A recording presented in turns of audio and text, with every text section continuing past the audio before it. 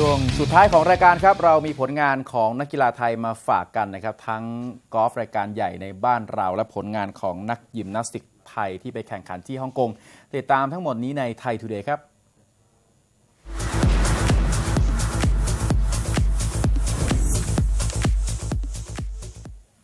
เราไปดูผลงานของกิรเดชอภิบาลรัฐครับ รั้งอันดับที่ 2 ครับ ในการแข่งขันกอล์ฟ co-sanction ระหว่างยูโรเปียนทัวร์และเอเชียนทัวร์รายการ True Thailand Classic ชิงเงินรางวัลรวม 2 ล้านเหรียญสหรัฐครับ หรือว่าประมาณ 64 ล้านบาทที่สนาม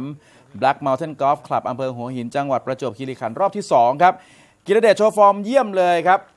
รอบ 2 นี่เก็บเพิ่มอีก 5 อันเดอร์พาครับจบวันรั้งอันดับที่ 2 ด้วยสกอร์รวม 10 อันเดอร์พาครับตามหลัง ผู้นำอย่างมิเกลอังเคลฆิเมเนซ คู่แข่งจากสเปนแค่สโตรกเดียวครับ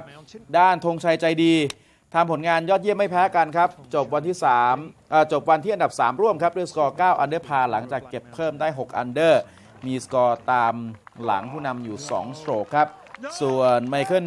โฮอีครับ ผู้นำในรอบที่แล้วจากไอร์แลนด์เหนือ รอบนี้เก็บสกอร์เพิ่มไม่ได้ครับ หลังทำได้เพียงแค่เซฟพาครับ อันดับร่วงไปอยู่อันดับ6ร่วมครับด้วยสกอร์รวม 8 อันเดอร์พาครับขณะที่รอบนี้เนี่ยมีโฮลอินวันด้วยนะครับ เมื่อพานุพลทิพย์พิทยารัตน์นะครับนักกอล์ฟไทยทำได้ที่หลุม 14 พา 3 ครับ รางวัลพิเศษเป็นทาวน์เฮาส์ในโครงการบ้านจัดสรร Black Mountain มูลค่านะครับ 12 ล้านบาทครับ โอ้โห สุดยอดครับ แม้ว่าช็อตเดียวหล่อเลยรอเลยครับ ไม่ผ่านการตัดตัวนะครับ วันที่ 2 เนี่ย จบวันรั้งรั้งอันดับ 108 ร่วมด้วยสกอร์รวม 2 โอเวอร์พาครับอื้อหือแต่รับไป 12 ล้านครับจากโฮลอินวันนะฮะอื้อหือสุดยอดมาก ดูเหมือนจะถูกโฉลกกับโพอินวันนะ ย้อนไปเขาบอกเขาเคยในรายการระดับแบบนี้เนี่ยเคยทำได้ในรายการ Thailand Open ปี 2011 มาแล้วครับแต่ว่าคราวนั้นเป็นหลุมที่ไม่ได้มีรางวัล โอ้ ครับอ่าคราวนี้นี่นี่ ได้รางวัลเยอะกว่าคนจบอันดับบนๆอีกนะครับใช่โอ้โหอะติดตามชมการแข่งขันรอบ 3 ได้นะครับ ช่วงบ่ายของวันพรุ่งนี้ครับ ทางช่อง True Sport HD True Sport 5 ตั้งแต่บ่ายโมงเป็นต้นไปติดตามได้เลยครับเราจะกอล์ฟเรามีผลงานของนักกีฬาไทยมาฝากครับ ไปดูยิมนาสติกกันบ้างครับ โดยที่นักกีฬายิมนาสติกทีมชาติไทย ไปร่วมช่วยกันคว้าถึง 7 เหรียญทองครับ จากการแข่งขันรายการฮ่องกงยิมนาสติกสิน International Invitation 2015 มีขึ้นระหว่าง6ถึง8กุมภาพันธ์ที่ผ่านมาครับ แข่งกันที่เขตปกครองพิเศษฮ่องกงครับ โดยนวตรีสรายุทธพัฒนศักดิ์เลขาธิการสมาคมยิมนาสติกแห่งประเทศไทยก็บอกว่า เมื่อช่วงต้นเดือนกุมภาพันธ์ครับสมาคมส่งนักยิมนาสติกเข้าร่วมแข่งขันรายการฮ่องกงยิมนาสติกสิน International Invitation 2015 ไป 2 รุ่น ก็คือรุ่นเยาวชนและก็รุ่นประชาชนหรือว่าโอเพ่นนั่นเอง โดยที่คำพรสุรินทระ นักยิมนาสติก ดาวรุ่งไทยครับก็โชว์ฟอร์มได้ยอดเยี่ยมไปคว้าคนเดียวถึง 6 เหรียญทองเลยครับ จากประเภทบุคคลอุปกรณ์รวมนะครับ มีทั้งอุปกรณ์บาร์เดี่ยว อุปกรณ์บาร์คู่ อุปกรณ์โต๊ะกระโดด อุปกรณ์ floor exercise และอุปกรณ์ห่วงนิ่งครับ ส่วนทางจามอนพรหมนีครับ ก็คว้ามาได้ 1 เหรียญทองให้กับทัพนักยิมไทยในการแข่งขันประเภทบุคคลรวมอุปกรณ์ แล้วก็ได้อีก1เหรียญเงินจาก ประเภทอุปกรณ์บาคู่กับม้าหูรวมทั้งได้อีก 1 ทองแดงจาก Pro Exercise ครับ รวมทั้งหมดก็ทำให้นักยิมนาสติกไทยสามารถคว้าไปได้ถึง 7 เหรียญทอง 2 เหรียญเงิน และ 1 เหรียญทองแดงครับ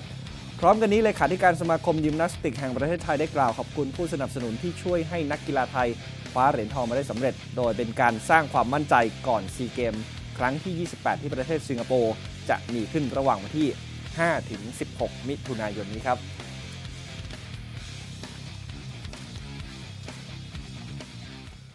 ช่วงท้ายรายการครับ เราไปดูโปรแกรมการถ่ายทอดสดกีฬาทาง True Vision กันครับ ในช่วงของ True Sport Today ครับ ลาลิก้าคืนนี้นะครับ อีกราวๆสัก2ชั่วโมงนะครับ ก็ติดตามดูอัลเมเรียเจอกับเรอัลโซเซดัดได้นะครับตี2 45 True Sport HD 2ครับ NBA All Star ครับ หลับสักงีบแล้วดูตื่นมาดู NBA All Star กันได้ครับ9โมงเช้านะครับ True Sport HD True Sport 3 ครับ กอล์ฟ Asian Tour European Tour รายการ True Thailand Classic เป็นวันที่ 3 แล้วนะครับ ก็เริ่มตั้งแต่ราวสักบ่ายโมงนะครับกับ True Sport HD True Sport 5ส่วน PJ ทัวร์รายการ AT&T Pebble Beach National Pro Am นะครับก็ติดตามได้ตอนตี3นะครับ True Sport HD True Sport 5ครับ มี Ladies European Tour ด้วยครับ รายการ RACV Ladies Masters วันที่ 3 ทาง Golf Channel HD ครับ9โมงครึ่งครับ เทนนิส ATP Tour ABN AMRO World Tennis Tournament ครับ รอบ quarter-final ตั้งแต่ตอนนี้ถึง 4 ทุ่มครึ่งนะครับ True Tennis HD ครับคุณนิติกรบรรยายอยู่นะครับ เปิดดูกันได้ครับเทนนิส ATP Tour ก็ตีหนึ่งครึ่งนะครับ ยังมี session ตีหนึ่งครึ่งด้วยรายการเดียวกันครับ แต่ตอนตีหนึ่งครึ่งนี่ผมไม่ใช่คุณนิติกรนะฮะ WTA ทัวร์ครับเบนเปปาริบาสครับฟอร์ติส i ดมอนเกมส์ครับ quarter-finalตั้งแต่ตอนนี้ถึงตีหนึ่งนะครับานช่อง 668 ติดตามช่องทางติดต่อรายการของเราได้อีกทางนึงก็คือ facebook.com/sptoday หรือว่าเสิร์ชหาคำว่า sport today กดไลค์เข้ามาติดตามกันได้เลยนะครับ ส่วนวันนี้เราปิดท้ายกันในคลิปช่วงของ World Emotion ให้ไปดู ฝีไม้ลายมือของเดอบอลเจมส์ครับในการรับบทเป็นอาจารย์บ้างครับเขาสอนวิธีการดังท่าสวยๆให้กับบรรดาเด็กๆ ที่เข้าร่วมกิจกรรมคลินิกสอนบาสเกตบอลของเจ้าตัวครับครับวันนี้ลากันด้วยคลิปนี้นะครับพรุ่งนี้เราเจอกันหนึ่งช่วงก็คือตอนเที่ยงนะครับวันนี้เราสองคนพร้อมด้วยทีมงานลาไปก่อนสวัสดีครับสวัสดีครับ